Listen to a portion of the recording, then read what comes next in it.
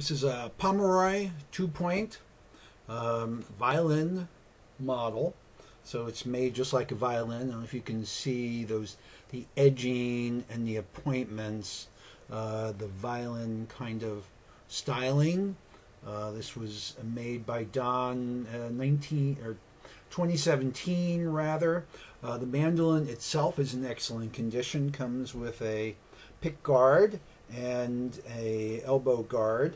There are no scratches or marks on the instrument. I took very good care of it. Uh, frankly, I haven't really played it in a year, so the strings are kind of old. It's not going to have a great sound. If you look at the headstock, you can see headstock doesn't have scratches from uh, being poked by strings. It has a, a very, very pretty sound, a very sweet sound.